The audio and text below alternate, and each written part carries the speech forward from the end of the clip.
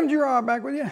And today we got ourselves a 1958 Morris Minor 1000 in the shop.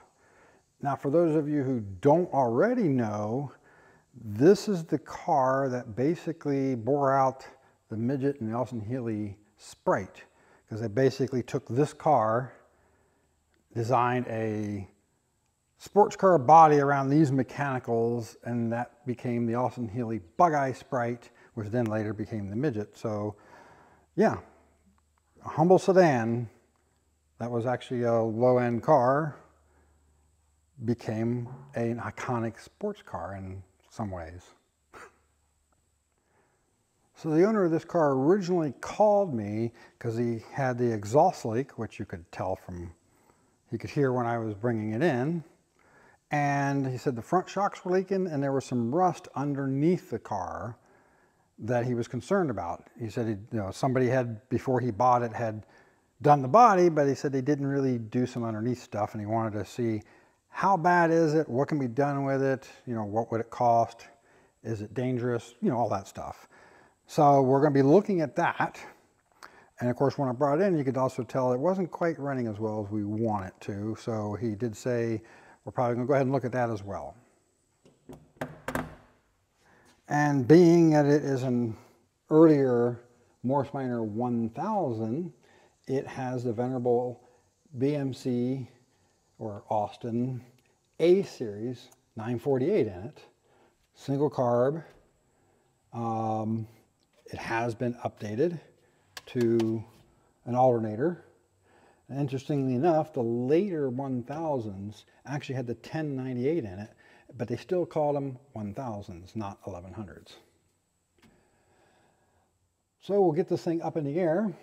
We'll take a look at his primary concern is how bad actually is the rust and what can be done about it.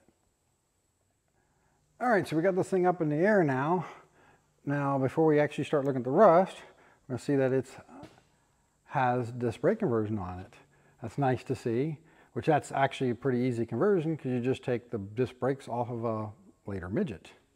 But you can see here, the obviously somebody couldn't figure out how to just cut these out of the brackets, which all you could do is just cut across this, use a nut splitter or something like that, and you can take all that out really easy.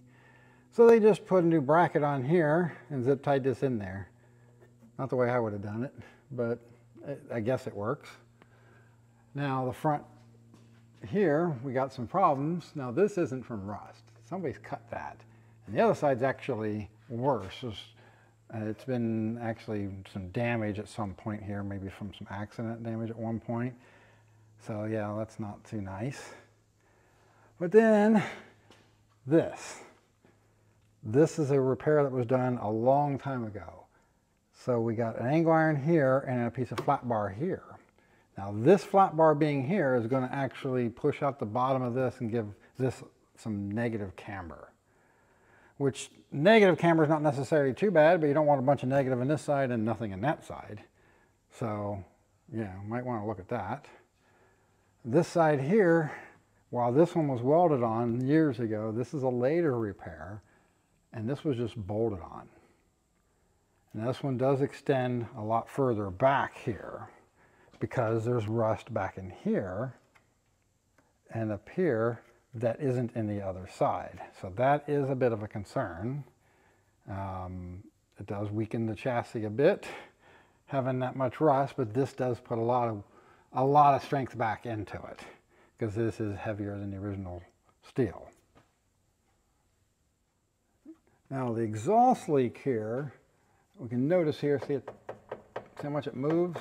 But you can also see it's hitting on here on the chassis. The whole exhaust system is sitting way too low in the car.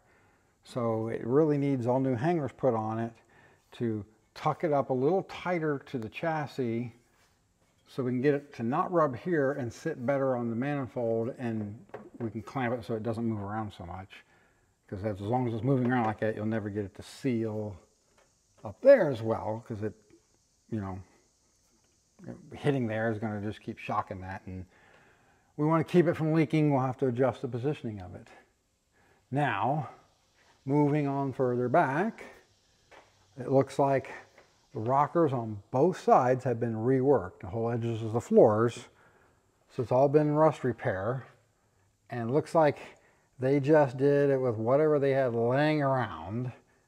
Because uh, this side here, see, has a piece of one by one uh, square tubing and then um, some flat plate stuff here, which is a lot heavier than the original stuff.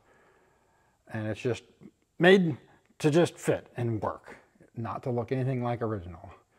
And then on the other side, it's got angle iron here instead of square tubing. And it's made kind of similar to the other side, but still, yeah, not quite like it should be. But it's thick enough to provide strength. Um, just isn't right. Um, moving on further back, I do not like this at all. Once again, rather than cutting this out of the bracket, they just put a new bracket on. But in this case, instead of putting the bracket right up here, they stuck it way further forward, putting this in constant tension, which is not a good thing. Now maybe sitting on the ground, there's less tension on it. I'd have to look at it once I get it back down, but yeah, I would like to see that changed. But in order to change this, you gotta put a longer piece of brake line on or find some brake line, some excess and pull back this way to get it back further. Moving on further back, the original gas tank is long gone and somebody had made their own tank out of aluminum. Now as long as it's not leaking and everything, it should be fine. And maybe this is even done like a small fuel cell with a bladder in it, which makes it even better than the original. I don't know until we open the boot and take a look. But looking at the back here, there's not nearly as much rust in this area as I would have expected, especially looking at the front chassis legs. So I'm going to say, however this thing was stored at one point in time, um, maybe it was stored somewhere where it was partly on gravel, partly in grass, or partly on you know, a, paved area and partly in gra gravel or grass or something, because the front end definitely shows a lot more rust than the back end does. And I would expect a lot more back in this area here based on the front of the car.